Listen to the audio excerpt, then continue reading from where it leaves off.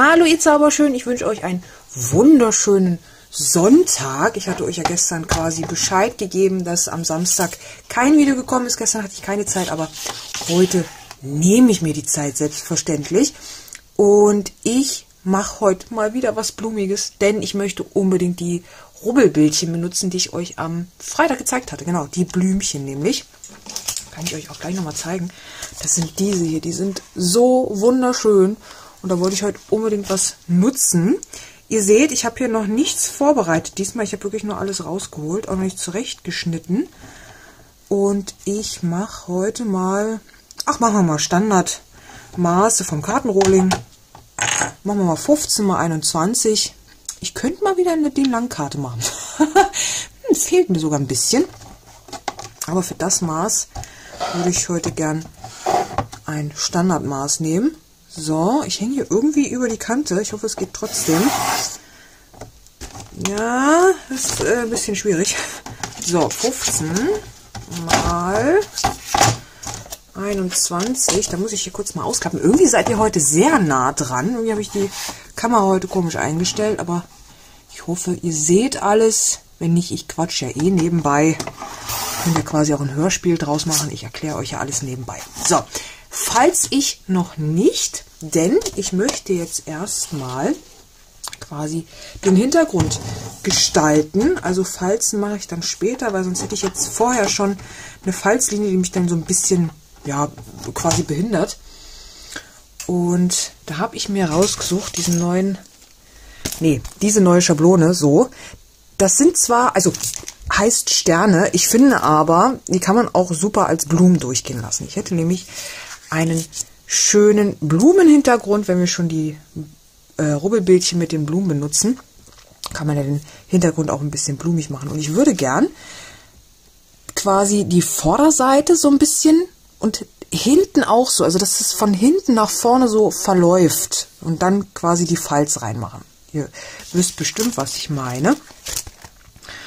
Und da nehme ich mir jetzt die Schablone, habe schon ein paar Distress-Oxide rausgeholt in rosa. Ich wollte mich so ein bisschen an den Farben der Blumen hier orientieren. Aber es ist ja manchmal ein bisschen schwierig, ne? gerade diesen Farbton zu treffen. Da muss ich mal sehen. Ich habe hier Pink bis über Pink und Rosa und Pink, sowas. Dieses Victorian Velvet, das gefällt mir ja so gut, weil das so schön schlicht ist. Vielleicht fange ich damit an und mische dann noch irgendwas mit rein.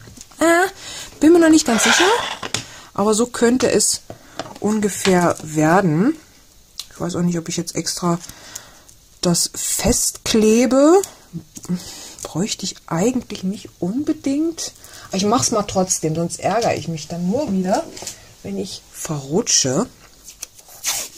Also klebe ich mir das jetzt einmal fest und ihr seht schon, das ragt weit drüber. Ne? Das ist ja hier nur noch der letzte Rest quasi vom Rücken und das ragt schon bis über die Hälfte. So, und dann werde ich jetzt einfach so ein bisschen verteilt das Ganze ja auftragen. Und dann machen wir erst die Falz rein.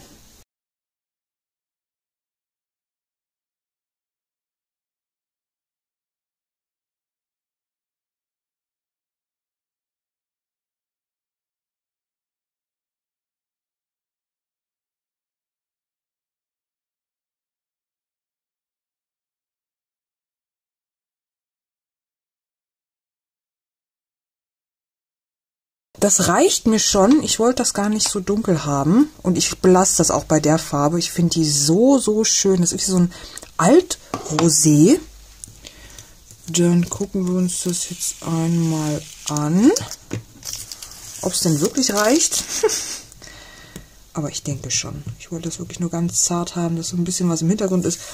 Dafür könnte schon wieder zu viel sein. Ich kenne mich, aber ich kann ja dann nicht aufhören. Wie so oft. So. Ach, das sieht so schön aus. Diese Farbe ist so herrlich. Ich hätte wahrscheinlich noch weiter hochgehen können, aber wir ziehen jetzt mal die Falzlinie und gucken uns das mal an, wie weit das denn drüber ragt. So, einmal bei 10,5 Falzen. Hier, man hätte sich natürlich auch vorher eine Markierung machen können, dass man weiß, bis wohin man gehen möchte oder ne, wie weit man drüber geht. Aber ihr seht schon, hier der Teil geht drüber. Ich finde das sehr schön, wenn das so ein bisschen drüber läuft. Das ist doch, das ist doch schön. Man hätte es wirklich ein bisschen weiter runterziehen können. Das ist aber jetzt nicht weiter schlimm. Das könnt ihr ja gern machen. Das ist quasi so ein bisschen wie, als würde man Designerpapier als Kartenrolling benutzen. Das habe ich ja auch schon ein paar Mal gemacht. Finde ich auch immer sehr, sehr schön. Weil dann hat man gleich was im Hintergrund. Aber so kann man auch diese wunderschönen Schablonen mal wieder benutzen. Sehr schön. Ich finde wirklich, das geht als Blume durch, nicht nur als Stern. So, da haben wir schon mal unseren Kartenrolling und den Hintergrund. Ja, wir werden da keine Mattung oder ähnliches noch draufpacken, denn jetzt kommt unser Blümchen drauf. Und da habe ich schwer überlegt, wie ich es denn gern hätte. Weil die so eine längliche Form haben, hätte ich eigentlich gern oval gehabt. Das wird mir aber zu groß. Ich habe nur ovale Formen, die wirklich sehr oval sind. Dann wird was abgeschnitten. Also ganz, ganz. Das war schwierig vorhin, das rauszufinden, was ich dann nehme. Ich habe mich jetzt für rund entschieden. Und zwar für diese Platzdeckchen. Und da werde ich jetzt auch gleich nochmal schauen, ob wirklich die Größe auch hinhaut. Und ob ich nur das Platzdeckchen nehme oder ob ich das Platzdeckchen als Hintergrund nutze. Quasi dann nochmal eine Farbe mit dazu packe. Aber die Größe, das geht gerade so, ne? Größer dürfte es wirklich nicht sein. Dann sieht man wieder äh, so viel vom Hintergrund nicht. Und ich habe mich für die mittlere Größe entschieden. Hier gibt es ja klein, mittel und groß. Und ich glaube auch Mini-Format. Genau, hier gibt es auch nochmal ein Mini-Format. Aber ich hätte gern die mittleren. Die kleinen waren mir zu klein, die großen sind mir zu groß. also jedenfalls für diese Kartenform. Und das dürfte wirklich genau reinpassen. Ich war mir auch noch nicht sicher, was ich hiervon nehme. Die Gießkanne, das Glas oder sogar den Briefumschlag. Den finde ich auch sehr schön. Da würde ich aber vielleicht, obwohl der passt ja genau rein. Oh, der ist aber schön. Ob der hier gut drauf passt, den würde ich jetzt fast nehmen, weil der füllt das wirklich richtig gut aus. Habe ich doch meine Wahl schon getroffen. Sehr schön. Da brauche ich jetzt gar nicht weiter darüber überlegen. Das hatte ich vorher gar nicht gesehen gehabt. Dann nehme ich mir jetzt mal das Platzdeckchen und brauche ein Stückchen Weiß. Gucken, ob ich das durch meine kleine Sidekick kriege, aber ich glaube schon. Da musste ich jetzt doch auf meine große Maschine ausweichen. Das hat doch nicht ganz gepasst, aber das ist ja nicht weiter schlimm. Und dann schneide ich mir jetzt den Briefumschlag einmal aus. Oh, ich hoffe, ich erwische nicht noch irgendwas. Und dann kennt ihr das ja. Dann ziehen wir einmal die Trägerfolie ab, legen das einmal auf und dann haben wir den schönen Spadel dabei, hier, dieses Holzstäbchen und dann fangt ihr einfach an zu rubbeln.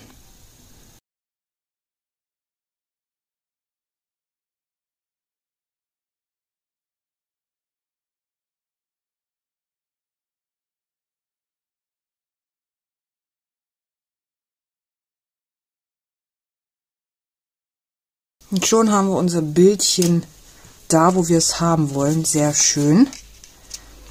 Das gefällt mir wirklich sehr gut. Ich würde sogar noch Spritzerchen im Hintergrund machen. Ihr kennt mich ja.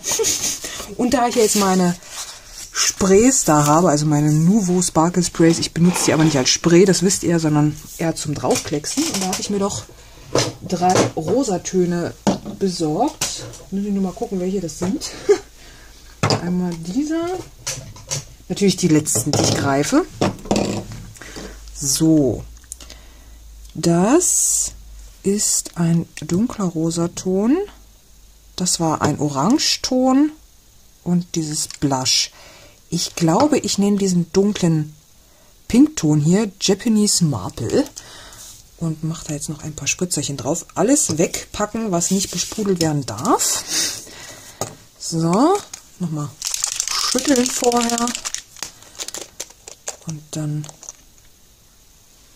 klicksen wir einmal rum. Moment, der Stört mich gerade ein bisschen.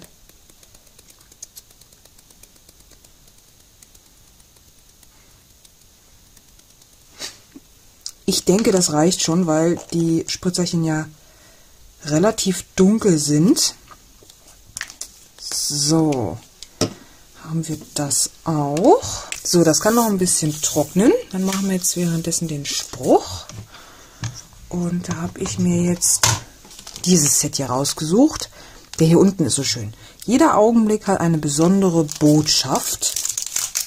Und den würde ich jetzt ganz schlicht einfach mit Grau auf Weiß stempeln und dann ja, ausschneiden.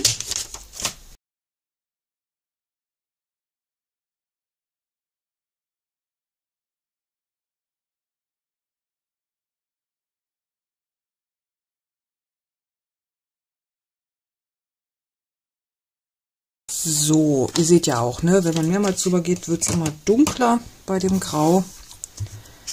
Aber das finde ich immer ganz spannend, weil dann kann man das auch variieren. So, das jetzt einmal zurechtschneiden, einfach nur gerade. So, ich hoffe, das ist jetzt soweit trocken. Und dann soll unser Briefumschlag hier unten links am besten hin. Genau, den setze ich ein Stückchen höher. Da muss ich nur mal meine großen 3D-Punkte finden. Die sind ganz unten natürlich. Und da würde ich dann gerne noch direkt an das Platzdeckchen Nylongarn mit anbringen. Und ich glaube, ich habe gerade schon mal geschaut, das Kupferrosé dürfte ganz gut zu unserem Hintergrund passen. Da können wir noch mal schauen. Ich glaube, das sieht ganz gut aus. Den Spruch mache ich mal zum Schluss. Und ich würde gern mal eine Doppelschleife probieren. Mal gucken, ob ich das hinkriege. Ich würde schon gern so ein bisschen mehr jetzt gerade da dran noch haben, weil meine Idee war, eigentlich noch etwas in den Hintergrund zu packen. Würde ich aber jetzt irgendwie ein bisschen viel finden. Deswegen hätte ich jetzt gerne hier noch irgendwie noch eine riesengroße Schleife. Bin ich nur am überlegen, wo packe ich die hin? Ob ich die hier unten hinpacke? Ob ich die hier oben hinpacke? Ich habe mich jetzt doch dafür entschieden, die Schleife hier runter zu packen und die Punkte waren doch noch nicht ganz trocken. Seht ihr das? Ich bin leider beim Schleife binden ein bisschen drauf gekommen, habe versucht, das ein bisschen zu retten. Ach, ärgerlich, ärgerlich. Sieht wirklich nicht schön aus. Naja, gut, zur Not mache ich die Karte nochmal neu. Wäre ja kein Problem, geht ja relativ schnell. Und der Spruch soll jetzt hier mit hin. Je nachdem, wo euch am besten gefällt. Man könnte auch einen kleineren Spruch nehmen. Aber ich finde das eigentlich ganz gut so. Dann packe ich mal hier hinten 3D-Punkte drauf, damit das nicht in der Luft hängt. So. Und vorne gebe ich ein bisschen Kleber drauf, damit das an unserem Briefumschlag klebt. So. Dann kommt das jetzt hier einmal so hinter die Schleife. So. Und man erkennt ja trotzdem noch, dass es ein Briefumschlag ist. Der ist ja nicht ganz überdeckt. So, die Schleife kann ruhig rüberragen. Ich würde gerne was ausprobieren. Ich habe ja meinen Wing of Stella in durchsichtig. Also es ist nur Glitzer. Und ich würde gern diese rosenen Blümchen hier gerne noch so ein bisschen beglitzern. Aber irgendwie fehlt mir da drin was. Und mal gucken, ob das schön wird. Ich schau mal eben, ob der noch macht, was er machen soll. Aber das sieht gut aus. Nur so ein bisschen. Nur so ein bisschen über die Blüten, damit die so ein bisschen glitzern. Weil unser Hintergrund glitzert ja auch so schön. Mit diesen Punkten. So, nur diese eine Blume hier. Genau. Und das reicht schon. könnt ihr das sehen. Ich komme euch ja dann eh noch mal ein bisschen näher. Aber da funkelt schon. Zeige ich euch dann gleich nochmal. Und ich suche mir jetzt mal Nuvos raus. Vielleicht kriege ich das hier noch irgendwie, ja, schön. so schnell mal umgedacht, weil ich keine passenden Nuvos gefunden habe.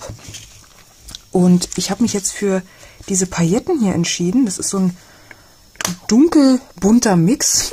Nennt sich Razel Daisel. Packe ich euch unten rein. Und damit kann ich super diese Punkte hier kaschieren. Und die haben zwar alle die gleiche Größe, aber das muss heute auch so mal gehen.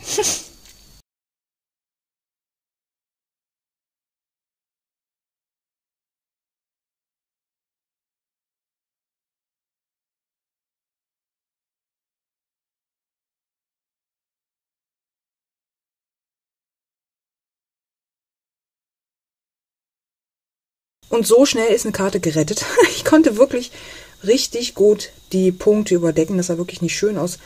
Zwar sind jetzt hier so ein paar Fetzen, weil ich ja versucht habe, das wegzuradieren, aber das kann man eventuell mit ein bisschen Wasser noch platt drücken. Und ich finde sie wirklich schön geworden. Es ging mal wieder schnell, ihr kennt das ja. Hier seht ihr auch nochmal die schönen Blümchen, die hier so ein bisschen glitzern und funkeln, weil, wie gesagt, hat mir irgendwas gefehlt. Und ich finde das sehr schön, wenn es dann ja solche Sachen gibt, wo man so einen kleinen Akzent setzen kann. Und wie gesagt, hier ist die Rückseite. Ich finde das, ich finde das sehr schön, wenn das hier hinten noch weitergeht. Auch hier hat es einen lang gezogen, aber das macht jetzt nichts. Ist ja nur die Rückseite. Aber das macht ein schönes Bild, wenn das so nach oben weiter verläuft. Ihr Lieben, ich hoffe, es hat euch gefallen. Ich wünsche euch ganz viel Spaß beim Nachbasteln. Ihr findet wie immer alles unten in der Infobox. Falls natürlich Fragen sein sollten, könnt ihr gerne fragen. Und ansonsten, wie immer, wünsche ich euch jetzt selbstverständlich einen wunderschönen, zauberschönen und sehr kreativen Tag. Und ich würde sagen, bis zum nächsten Video. Tschüss!